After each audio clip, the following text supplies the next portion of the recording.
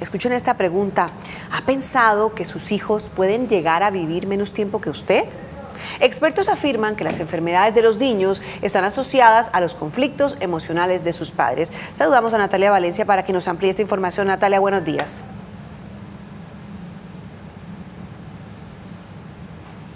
Carolina, muy buenos días. Para responder esa pregunta nos está acompañando Carlos Jaramillo. Él es el fundador del Instituto de Medicina Funcional. Director, buenos días y cuéntenos por qué consideran ustedes que las enfermedades de los niños están asociadas a conflictos emocionales.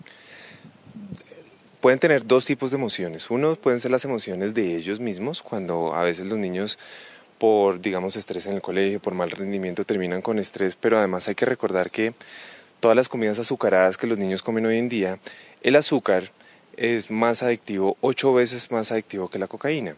Y lo otro pues también que puede estar relacionado son directamente las enfermedades, pues las emociones de los padres que los niños al ver este tipo de conflictos terminan pues teniendo a veces conductas que pueden terminar afectándoles tanto su sistema inmunológico, o sea, sus defensas, su parte digestiva y también con trastornos de la alimentación.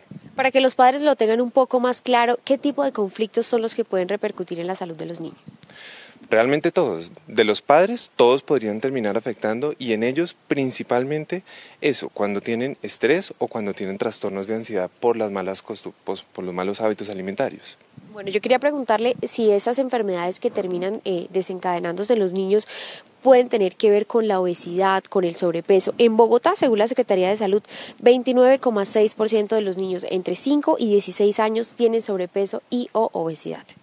Claro, y además que hay un dato, además de ese dato que es muy importante, hoy se calcula que en el mundo pueden haber más de 50 millones de niños obesos menores de 5 años.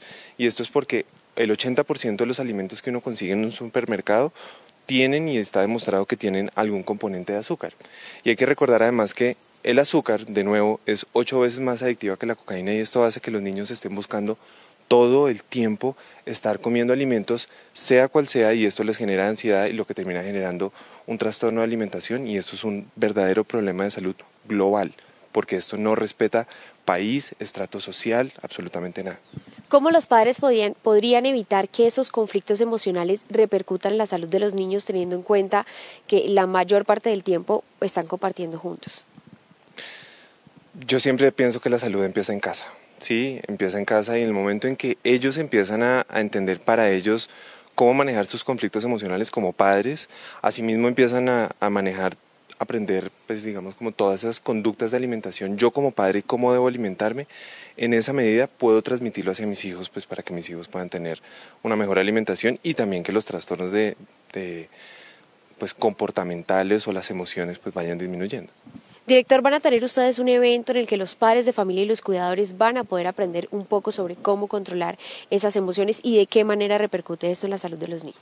Claro, es digamos la primera vez en, en Latinoamérica, en el habla hispana, que se va a hacer un evento que es de salud infantil, pero no es dirigida hacia los pediatras, como siempre hacemos, que es educando a médicos, sino esto es educando directamente a los padres, para que los padres tengan herramientas reales sobre diferentes temas, sobre todo lo que tiene que ver con fiebre, sueño, alimentación, defensas, alergias y todo, pero para que ellos tengan esas herramientas desde la casa, ¿sí? En casa, que aprendan con evidencia científica a cómo la salud de nuestros hijos empieza desde casa y empieza desde la prevención porque el 90% de las enfermedades de los niños, incluso no solamente las enfermedades, sino de las causas de mortalidad, son completamente, el 90% son prevenibles, pero además empiezan desde casa.